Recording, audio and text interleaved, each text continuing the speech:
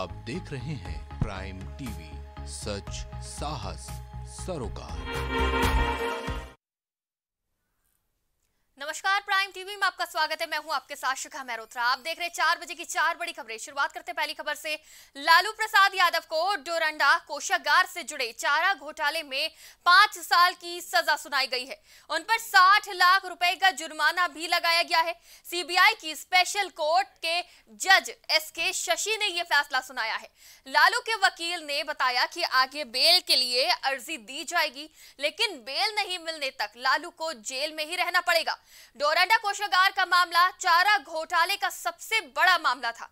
चारा घोटाले में लालू यादव को मुख्य साजिशकर्ता बताया गया था।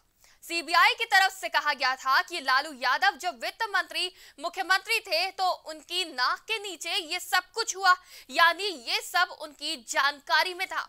तो मुख्य आरोपी बताया गया था, जिसमें 15 फरवरी को उन्हें दोषी करार दिया गया और आज उन्हें सजा सुनाई गई है। सजा पाँच साल की सुनाई गई है। साथ ही साठ लाख रुपए का जुर्माना भी लगाया गया है। हालाँकि उनकी खराब तबीयत का हवाला भी दिया गया है और बेल की बात भी कही गई है कि बेल नहीं मिलने तक लालू अब जेल में ही रहेंगे और बेल के लिए अर्जी भी दी जाएगी।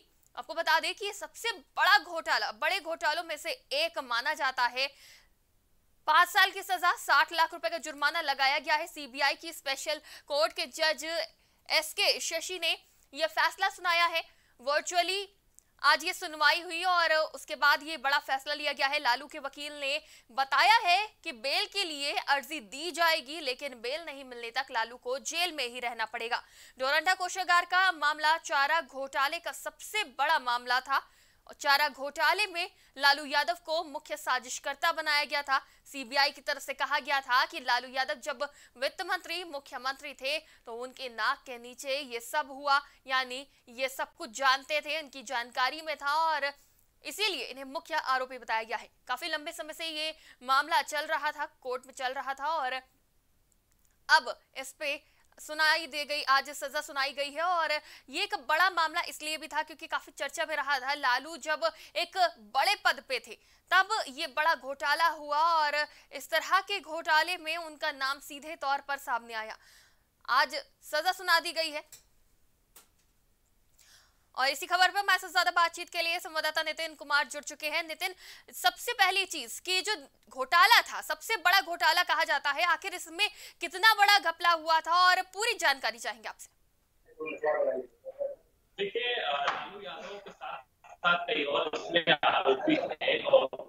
अब तक अपनी जान गंवा दी है और अब तक जो ज़िंदा लोग बचे हुए हैं, उनकी टोटल संख्या जो है वो अड़तीस जिसमें आज सीबीआई कोर्ट में पूरे मामले पर सुनवाई हो रही थी, क्योंकि इसके पहले भी लालू यादव को चारा घोटाले से जुड़े हुए चार मामलों में जमानत मिली थी और उसके बाद वो जेल से बाहर आए थे। लेकिन आज सीबीआई कोर्ट में जो डोरेंडो की जो कोषागार है, वहाँ डोरेंडो कोषागार में ये जो चारा घोटाला हुआ था, उस चारे घोटाले की उसमें साफ़ तौर पर आरोपी बनाए गए थे लालू यादव और सैंतीस अन्य लोग, क्योंकि इसके पहले जो बाकी के जो अन्य लोग थे, उनकी मृत्यु हो चुकी है और जो सैंतीस प्लस लालू यादव मतलब अड़तीस लोगों की जो आज सुनवाई सीबीआई कोर्ट में हुई है, उसमें लालू यादव को सजा सुनाई गई है। अभी कुछ दिनों पहले ही उन्हें पूरे मामले में दोषी करार दिया गया था और सजा के रूप में अगर देखा जाए तो उन्हें पाँच साल की सजा सुनाई गई है और साठ लाख का जो जुर्माना है वो दिया, बताया गया है।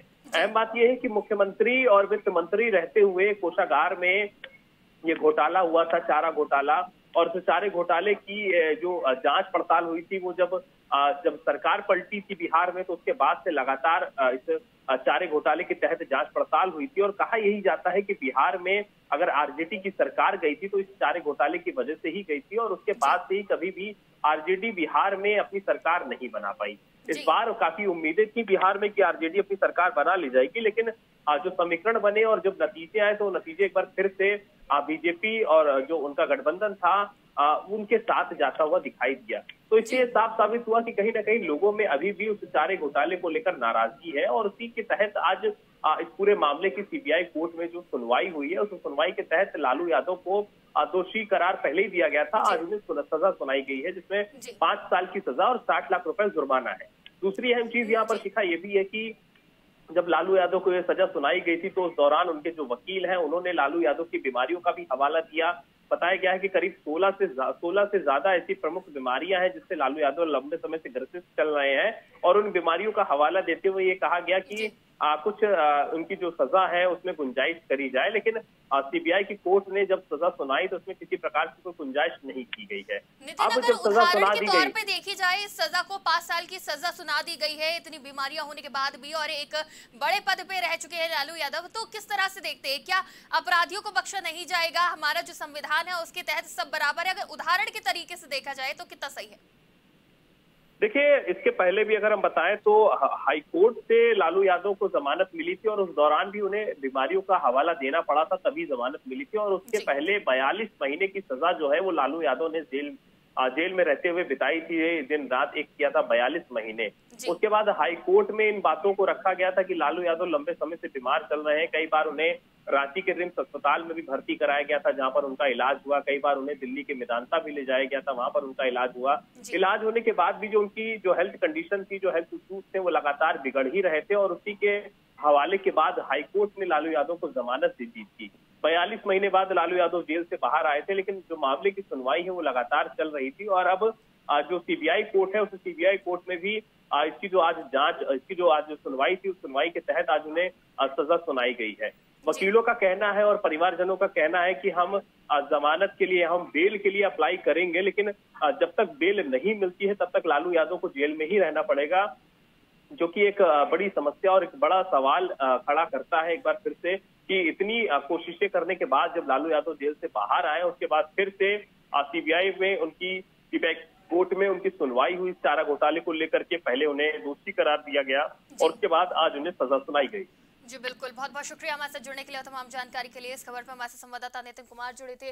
तो सीधे तौर पर सजा सुना दी गई है, लेकिन अभी भी परिजनों का और वकीलों का ये कहना है कि बेल के लिए वो अप्लाई करेंगे और जिस तरह से स्वास्थ्य खराब रहता है तो उसका हवाला देते हुए कहीं ना कहीं बेल मिलने की अभी भी उम्मीद वकीलों में और परिजनों में दिखती नज़र आ रही है। रुक करते हैं अगली खबर की तरफ़। उत्तर प्रदेश विधानसभा चुनाव 2022 को लेकर एक तरफ़ राजनीतिक माहौल गरमाया हुआ है। इसी कड़ी में सोमवार को बांदा में केंद्रीय मंत्री अनुराग ठाकुर चुनाव प्रचार करने पहुँचे, जहाँ उन्होंने मीडिया से बातचीत में दावा किया कि इस चुनाव में सपा को 100 सीटें भी नहीं मिलेगी। उन्होंने कहा, इस बार की लहर बताती है कि बुंदेलखंड में कमल ही खिलता, खिलने वाला है। अखिलेश जी सात चरणों के बाद भी सौ सीटें पार नहीं कर पाएँगे और 10 मार्च को उनका बयान होगा कि ईवीएम बेवफा है। इससे पहले केंद्रीय मंत्री अनुराग ठाकुर ने भाजपा प्रत्याशी प्रकाश द्विवेदी के पक्ष में रोड शो कर वोट की अपील की थी।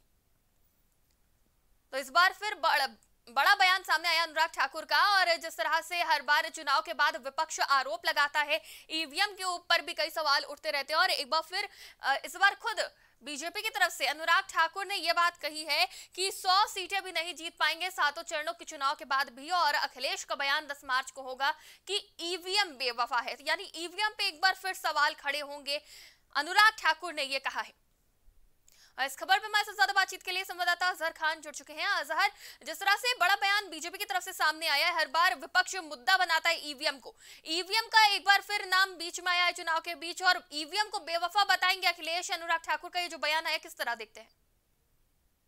बिल्कुल शिफा, जिस तरीके से उत्तर प्रदेश चुनाव का दौर शुरू है और ऐसे में आरोप, प्रत्यारोप का दौर लगातार जारी है और जिस तरीके से प्रधानमंत्री नरेंद्र मोदी हो या गृह मंत्री अमित शाह हो या मुख्यमंत्री योगी आदित्यनाथ हो, लगातार अखिलेश यादव पर हमलावर होते नज़र आते हैं। अब उसी फहरिस्त में अनुराग ठाकुर का भी नाम जुड़ता नज़र आ गया है। और जिस तरीके से आज अनुराग ठाकुर बांदा सदर पहुँचे थे, भाजपा प्रत्याशी की रैली में शामिल होने, वही उन्होंने समाजवादी पार्टी मुखिया अखिलेश यादव पर जमकर निशाना साधा है और उनका साफ़ तौर से ये कहना है कि अखिलेश यादव सात चरणों में होने वाले जो सौ चुनाव है, उसमें सौ सीटें भी नहीं जीत पाएँगे। और जब चुनाव दस मार्च को जिस दिन मतगणना होनी है, उस दिन अखिलेश यादव ईवीएम को बहाना बनाकर अखिलेश यादव का ये कहना होगा कि ईवीएम बेवफा है और ईवीएम में छेड़खानी की गई। इस तरह का बयान अनुराग ठाकुर ने दिया है और ऐसा इससे पहले भी अनुराग ठाकुर लगातार समाजवादी पार्टी को लेकर लगातार हमला बोलते नज़र आते हैं। और वहीं भारतीय जनता पार्टी की बात करें तो लगातार जो भारतीय जनता पार्टी के शीर्ष नेता है आज अब चौथे चरण के चुनाव होने हैं और ऐसे में लगातार जो पूरा शीर्ष नेतृत्व है वो पूरी तरह चुनावी मैदान में है और ऐसे में लगातार पक्ष और विपक्ष के लगातार आरोप प्रत्यारोप। अनुराग ठाकुर का भी आज एक बड़ा बयान सामने आया है। जी।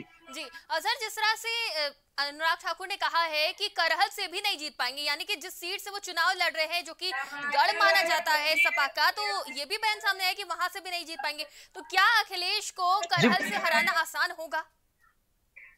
बिल्कुल शिखा, जिस तरीके से एक बहुत बड़ी बात अनुराग ठाकुर ने कही है कि करहल सीट से भी अखिलेश यादव चुनाव नहीं जीत पाएँगे। इसी बीच अभी कुछ देर पहले एसपी बघेल का भी वहाँ से बयान आया और उन्होंने बहुत बड़ी बात की है कि अखिलेश यादव का करहल सीट से चुनाव जीतना एक बहुत बड़ी बात है। अगर वो चुनाव जीत जाते हैं, उसको लेकर तमाम तरह की बातें एसपी बघेल ने कही और लेकिन जिस तरीके से शिखा आपको बता दें, करहल जो सीट है, वो पहले से ही जो समाजवादी पार्टी है, उसका गढ़ रहा है। चाहे वो फिरोजाबाद हो, चाहे वो कन्नौज हो, करहल हो, मैनपुरी हो, या तो इटावा की जो सीटें हैं, ये जो इलाका है, ये हमेशा से ही समाजवादी पार्टी का गढ़ रहा है। तो करहल से कहीं ना कहीं यादव को हराना इतना आसान नहीं होगा क्योंकि अभी बीते दिनों की बात करें तो मुलायम सिंह यादव हो चाहे शिवपाल यादव हो वो खुद करहल पहुँचे थे और अखिलेश यादव के लिए करहल की जनता से वोट की अपील की थी तो इतना आसान नहीं होने वाला है। फ़िलहाल भारतीय जनता पार्टी के जो नेता है वो लगातार ये दावे करते आ रहे हैं कि करहल सीट से भी अखिलेश यादव का जीतना काफ़ी मुश्किल हो सकता है। जी। जी बिल्कुल। बहुत बहुत शुक्रिया हमारे से जुड़ने के लिए तमाम जानकारी के लिए। इस खबर पर हमारे संवाददाता अजहर खान जुड़े थे।